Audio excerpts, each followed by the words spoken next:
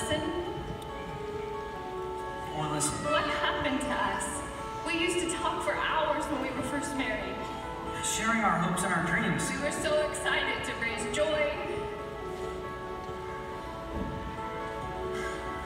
You remember that time I was away on business and we talked for hours till five in the morning. Both of us were late to work the next day. I remember that felt like the longest day of my life. But you told me it was worth. It